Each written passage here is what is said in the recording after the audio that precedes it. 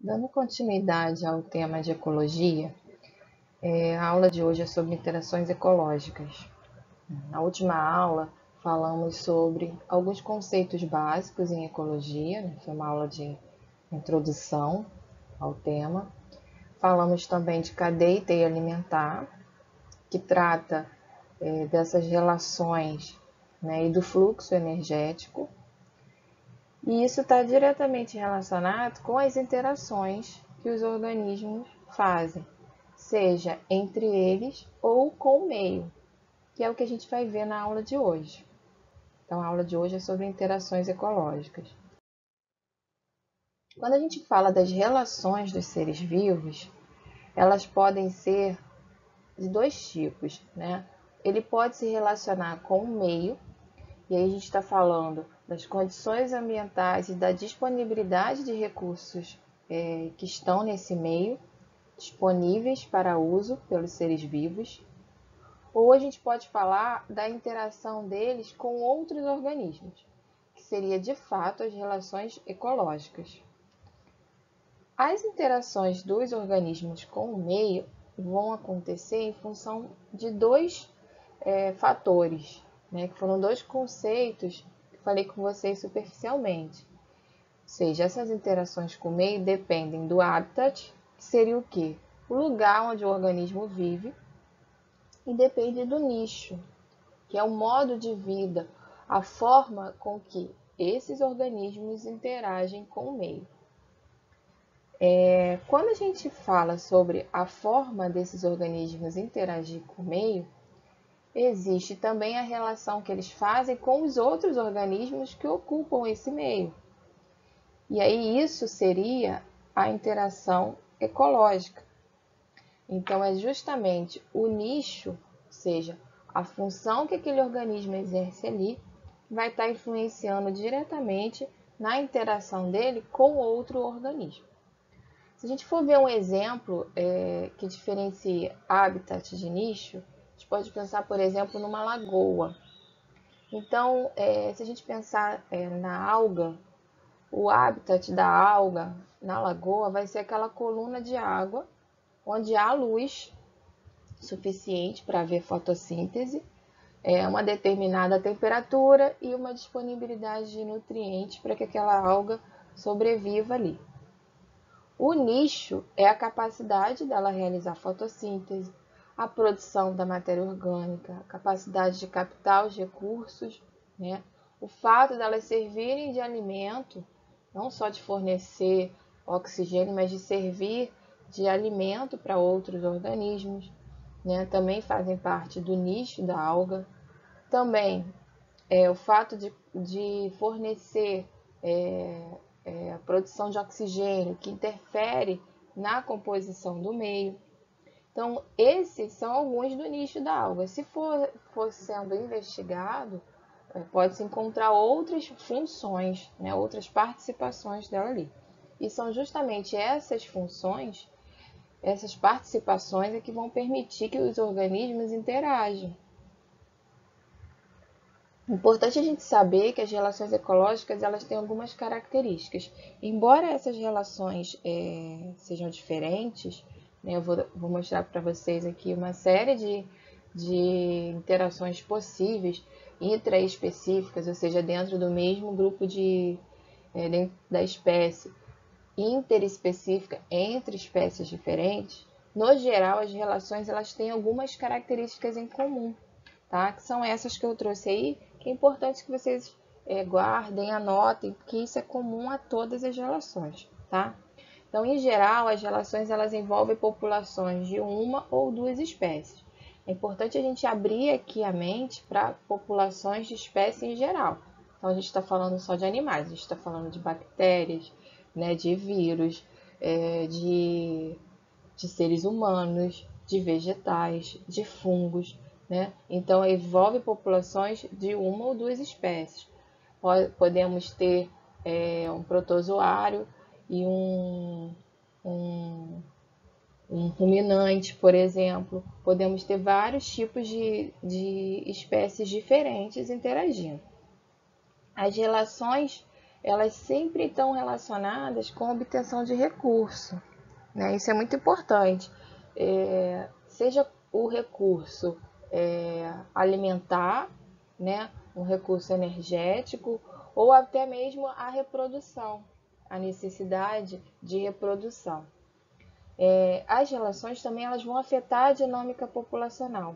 Então, é, quando eu tenho um grupo ou é, interagindo, vai haver ali uma, um, uma influência na dinâmica populacional de pelo menos uma espécie né, que está interagindo. Pode afetar as duas espécies, né? as duas espécies vão ter, por exemplo, é, seu tamanho populacional controlado por essas relações.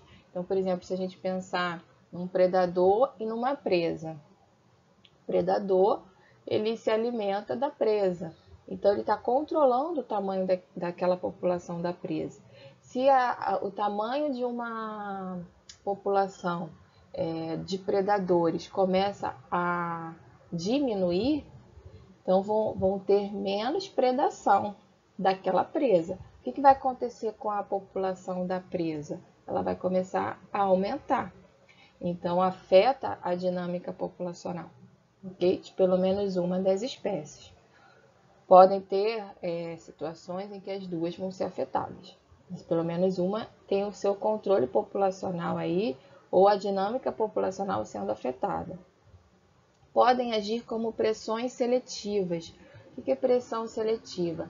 Quando a disponibilidade de recurso, o meio, a disponibilidade de nicho, de hábitat, é, de alimento, a capacidade reprodutiva tudo isso afeta a população, forçando ali uma seleção, né? um processo de seleção natural.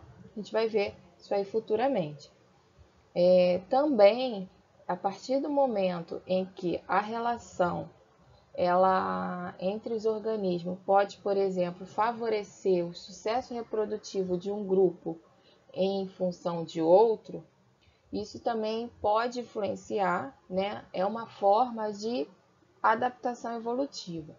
Então, por exemplo, quando eu tenho uma competição dentro da mesma espécie e eu tenho dois é, leões né, brigando ali entre si e o mais forte ele, ele vence por conta de um território ou por conta de uma fêmea, eles estão disputando ali a fêmea, eles vão é, estar de alguma forma é, incrementando aquele sucesso reprodutivo, porque se o mais forte ganha, aquele mais forte é que vai deixar descendentes, certo? E aquele está ocorrendo ali uma adaptação evolutiva. Então, é, ocorre uma pressão para que o mais forte é, vença ali e, consequentemente, vai haver uma adaptação a favor daquele que é mais forte ou que tem alguma característica que garantiu a ele o sucesso ali na disputa, na competição pela fêmea. É, as relações também são afetadas pelo meio. Então, a disponibilidade de recurso, por exemplo, a disponibilidade de um determinado alimento ou de um determinado nutriente, quando a gente fala é, dos vegetais, vai afetar a relação ali presente. Então, se eu tenho pouco recurso, os organismos vivos ali vão disputar aquele recurso. E, no geral, pelo menos uma espécie é beneficiada. Né? A gente vai ver que existem relações em que pode acontecer de nenhuma espécie é, está tendo benefício. Poderia acontecer isso? Poderia. Mas mesmo assim, é, se a gente pensar evolutivamente, está havendo uma vantagem. Então, alguma espécie ali está sendo beneficiada. Mesmo que ela não seja beneficiada diretamente, ela pode estar sendo beneficiada indiretamente. Por exemplo, diminuindo o gasto energético para obter um alimento, por exemplo. Tá? Isso a gente vai ver detalhadamente mais à frente. Então, no geral, de forma bem resumida, né? É, são esses os tipos de relações ecológicas que a gente vai encontrar. Então, para baixo da imagem, a gente encontra as intraespecíficas. O que, que seria isso? Intra, né, específica, entre a espécie. Então, é dentro da espécie. Então, dentro de uma mesma espécie, dentro de uma população, vão haver relações harmônicas, ou seja, onde os dois é, grupos envolvidos eles se beneficiam, né? Não há prejuízo para nenhum deles. E aí, no caso, a gente tem como exemplo a sociedade e a colônia. Para o outro lado da imagem, a gente vai ver relações intraespecíficas desarmônicas, ou seja, dentro da espécie também, de uma mesma população, podem ocorrer algumas situações que causem prejuízos para um ou para os dois grupos envolvidos. Por exemplo, o canibalismo pode acontecer, que é, na verdade, uma predação dentro da mesma espécie. Pode acontecer também a competição dentro da mesma espécie. Como eu falei, por exemplo, o caso do, de dois é, leões disputando a fêmea, é uma competição, tá? Para cima da imagem, a gente consegue ver as relações interespecíficas. O que seria isso? São relações que ocorrem entre espécies diferentes, tá? E aí, são dois tipos também. Harmônicas, quando não há um prejuízo, Pode até acontecer de não haver benefício para as duas espécies, mas prejuízo não há. E aí, como exemplo, temos o comensalismo, o mutualismo e a protocooperação. E também relações desarmônicas, né? ou seja, onde há prejuízo para pelo menos uma das espécies envolvidas. Então, é o amensalismo, o parasitismo e o predatismo. Vou falar sobre eles um pouquinho e eu vou procurar usar as cores que estão aí para a gente poder ir se tá? Então, qualquer dúvida, vocês podem voltar aqui no esquema. Nesse slide, vocês vão reconhecer a cor. É importante a gente saber que mesmo quando a relação ela é negativa, né? Ah, então ela não está afetando ninguém. Não, ela influencia o equilíbrio do meio, a população, o controle é, da comunidade. Então, de forma indireta, a relação ela também é, tem um, alguma, algum benefício, digamos assim. Mesmo quando ela seja totalmente negativa, ela te, traz alguma vantagem, algum incremento. Seja isso é, indiretamente, por exemplo, um tamanho da população sendo regulado. Então, começando a falar das interações intraespecíficas é, harmônicas, a gente diz harmônicas, mas elas também podem ser conhecidas como positivas, tá? Então, as interações elas podem ser intraespecífica ou interespecífica, seja intra é, entre as mesmas espécies, inter entre espécies diferentes, e elas podem ser positivas ou harmônicas, que é a mesma coisa, ou negativa e desarmônicas, que é a mesma coisa também. A gente pode encontrar esse nome positivo ou harmônico, negativo ou desarmônico, tá? E falando então das interações entre a mesma espécie, entre as específicas positivas, ou seja, onde não há prejuízo para nenhum dos, dos grupos envolvidos, a gente tem principalmente a sociedade e a colônia, como exemplo dessas interações. Na sociedade, o que acontece é que grupos de indivíduos da mesma espécie apresentam divisão de trabalho. E essa divisão ela não está relacionada apenas ao período reprodutivo. Tá? É, nesse caso, existem sociedades que são isomorfas, ou seja, quando os indivíduos é, não apresentam diferença morfológica dentro dessa sociedade, ou heteromorfas, quando os indivíduos são morfologicamente distintos. Né? Então, eles apresentam divisão de trabalho e também morfologia do corpo diferente relacionada a essa divisão de trabalho. Como exemplo de sociedade, temos as abelhas, as formigas e os cupins. As abelhas não são todas as espécies, na verdade, a maioria das espécies não vive em sociedade, são apenas algumas. E essas que apresentam elas vão apresentar é, diferença morfológica, né? E vão ser apresentadas em três castas, né? Existem as operárias, a rainha e o zangão. As formigas, todas as espécies de formiga são sociáveis, então elas vivem em sociedade. Também apresentam três castas, né? A rainha, as operárias e os machos. E os cupins também, todos são é, característicos de viver em sociedade e apresentam quatro castas: soldados, operários, reis e rainhas.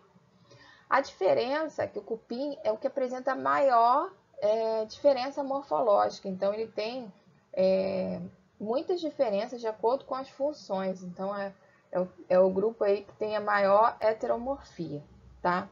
É, voltando para as abelhas, uma curiosidade, as operárias são fêmeas estéreis, né? enquanto a rainha, que é uma só por colmeia, vai ser encarregada da reprodução.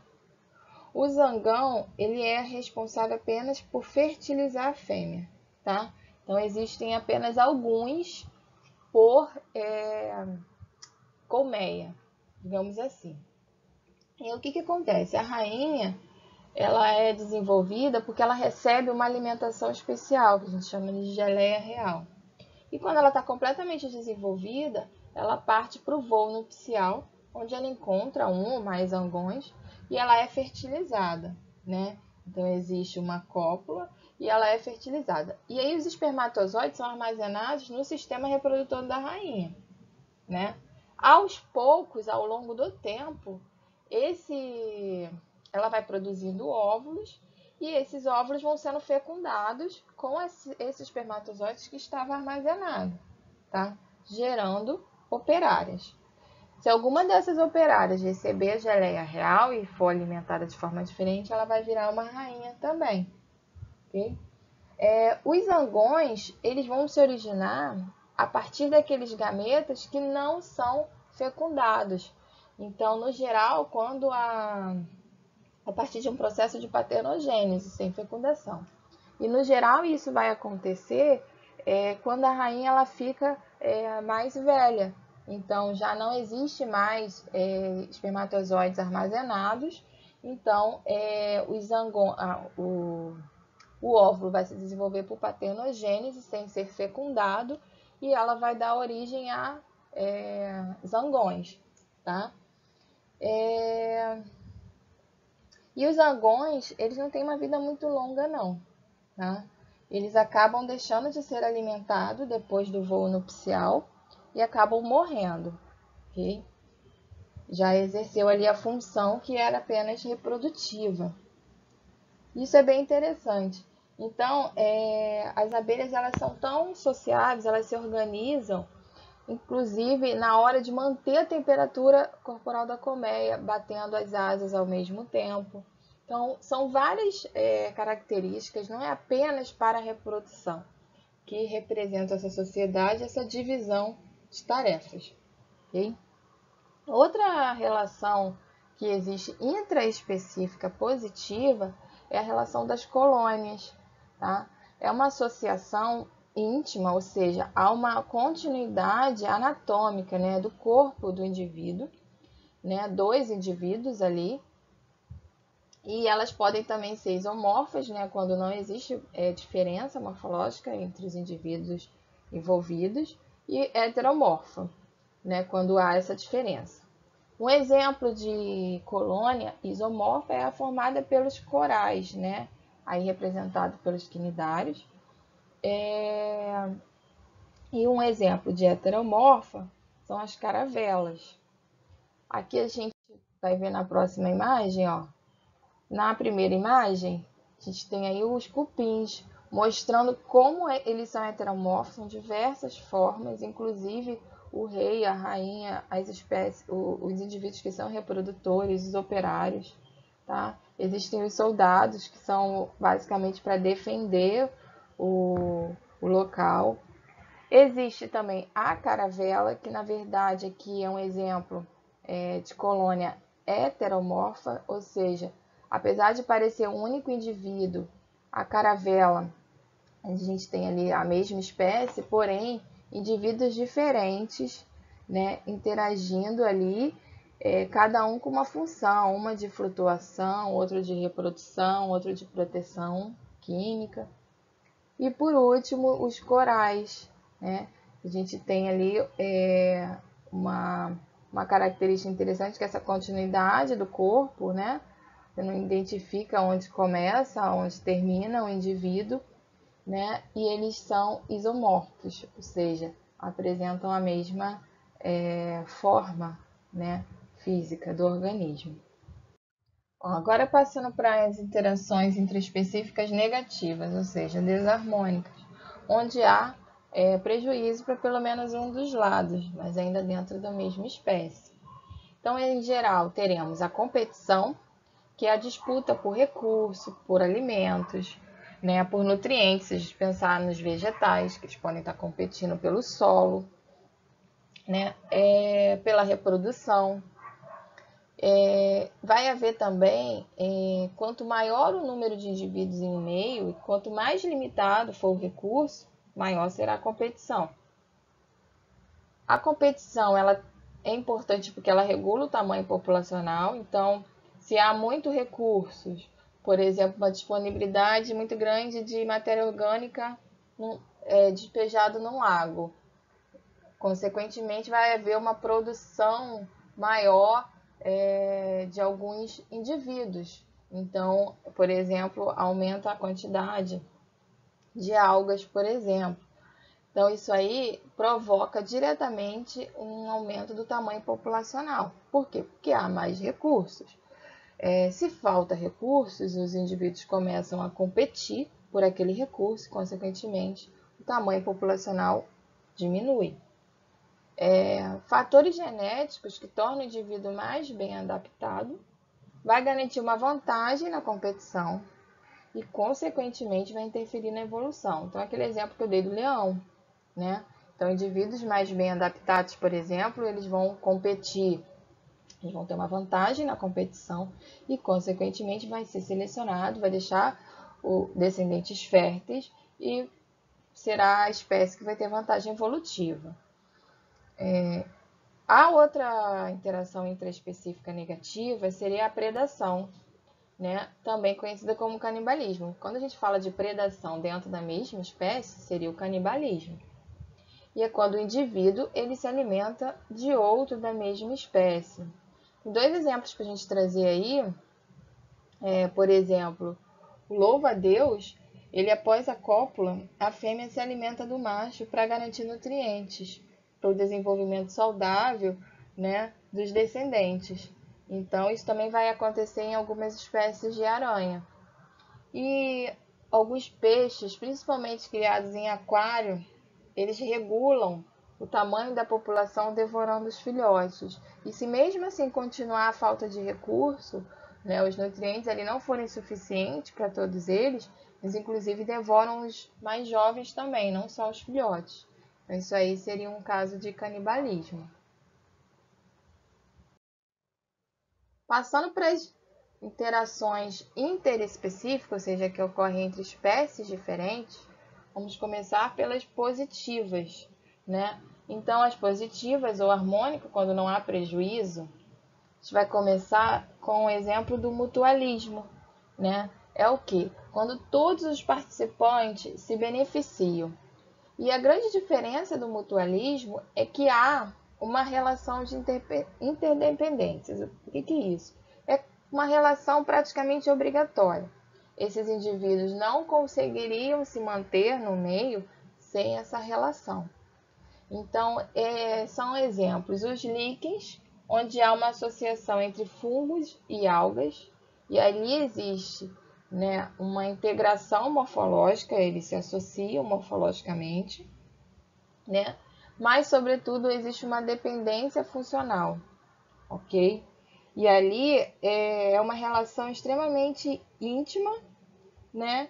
onde os líquens, é, dependendo, claro, eles podem ser é, cada espécie formada por espécies diferentes, né, podem ser algas e, ou cianobactérias associadas a fungos. E o que acontece é que eles dependem disso para obter os nutrientes e, e, se manter.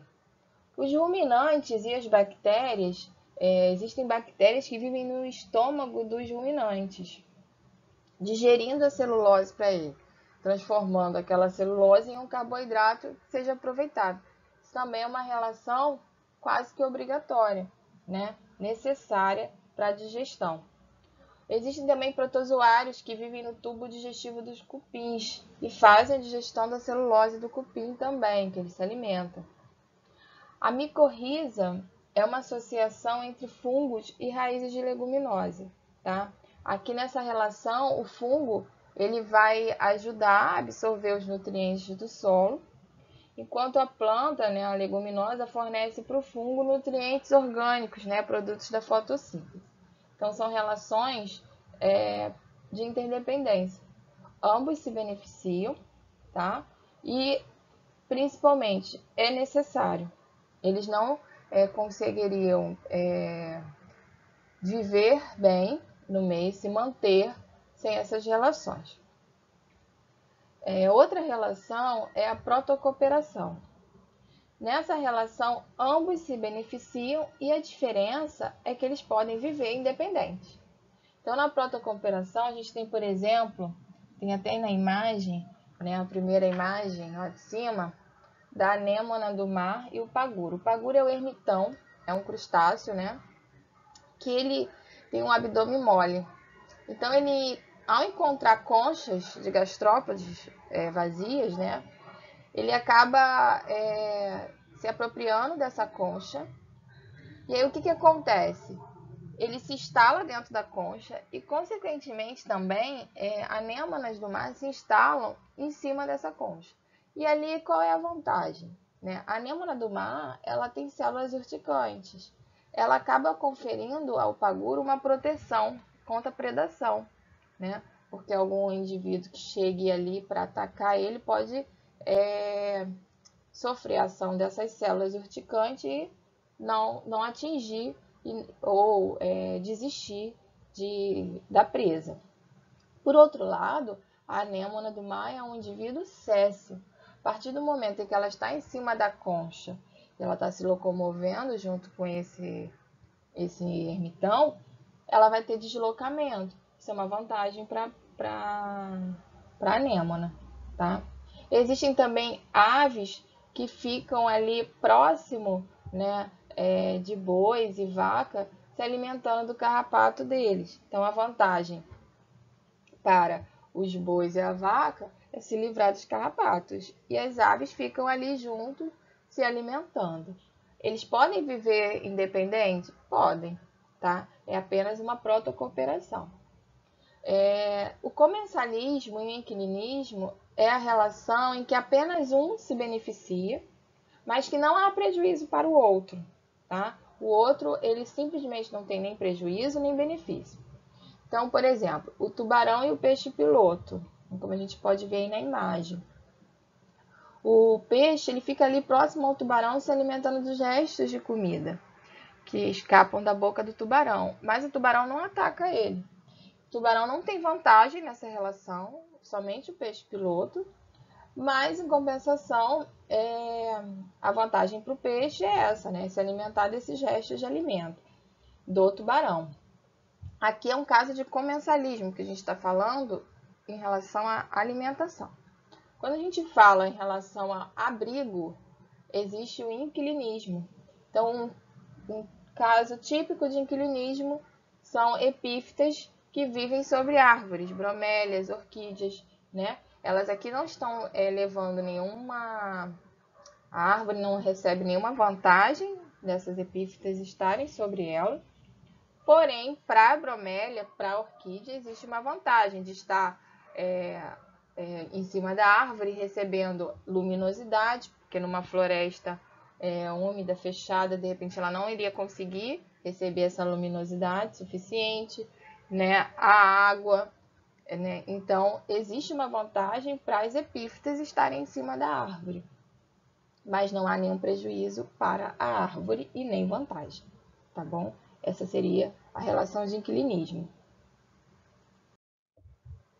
em relação às interações interespecíficas negativas, que seriam o quê? Quando espécies diferentes interagem, mas geram aqui um prejuízo, tá? E aí, começando pelo amensalismo, também chamado de antibiose. O que, que é isso? É quando uma população ela vai secretar uma substância que impede ou inibe o desenvolvimento de outras, né? Então, um típico é, caso aí são os antibióticos que são produzidos pelos fungos. A gente pode ver na imagem que tem uma placa de Petri e está escrito assim, penicillium, né? Que é a penicilina. Então, o fungo, ele produz o antibiótico e aonde tem o fungo, ali as espécies de bactéria, por exemplo, não se desenvolvem. Vê que ela está em qualquer lugar da placa de Petri, menos aonde está o fungo. Inclusive, esses é, antibióticos produzidos por fungos são utilizados na medicina, tá? Existem também o caso dos eucaliptos, como a gente pode ver na imagem de baixo. As folhas do eucalipto, elas ao cair no solo, elas acabam liberando ali uma substância e não deixa com que outras sementes que caem germinem no local. Então, quando a gente olha uma floresta de eucalipto, ela está dessa forma, né? As árvores ficam espaçadas. Um outro caso de interação é, onde há uma relação desarmônica entre espécies diferentes é a predação. Né? E aí é simples, o consumidor se alimenta né, do outro. É, então, o consumidor mata e come o indivíduo. Então, são vários exemplos, né? Clássicos, uma coruja comendo um rato, um pardal comendo uma semente. Mas espera aí, comendo uma semente? É, a semente ela é um embrião. Então, ali também é, uma, é um caso de predação. O carneiro, quando ele se alimenta de uma planta, ele tem que pegar a planta inteira, arrancou a planta inteira, inclusive a raiz, eliminou a planta, suprimiu aquela planta, é o caso de predação. Se ele comeu, é um, um animal come apenas folhas da planta e a planta continua sobrevivendo, não é uma predação. A gente chama aí de animais pastadores, né? Animais que estão se alimentando apenas da parte da planta mas ele não suprimiu aquela planta, ela não deixou de existir. Então, ali não seria predação. E um outro caso é o parasitismo. Né? Então, quando um consumidor, que é o parasita, ele retira o alimento do corpo de um outro indivíduo que está vivo, que seria o hospedeiro. Ele, em geral, os parasitas, eles não têm como objetivo matar o hospedeiro, porque ele depende do hospedeiro, né? ele, é, mas ele causa um prejuízo. Os parasitas podem ser ectoparasitas, como é o caso do pulgão e da sanguessuga, ou endoparasitas, os protozoários, os vermes dentro do organismo, tá? Lembrando que vírus são parasitas intracelulares obrigatórios, ou seja, eles não têm metabolismo fora da célula. Existe também o cipó-chumbo. O cipó-chumbo, ele não é um caso lá de inquilinismo, ele não fica em cima da árvore é, apenas é, para poder atingir uma luminosidade, né, ou receber algum recurso. O cipó chumbo ele não tem clorofila. E aí, consequentemente, ele absorve a seiva do floema, a seiva orgânica do hospedeiro. E ele acaba matando a planta em algumas situações, né? Então, é, no geral, o parasita ele não busca matar a planta, mas o cipó chumbo ele pode levar à morte da planta porque ele suga a seiva orgânica, né? a seiva já produto da fotossíntese.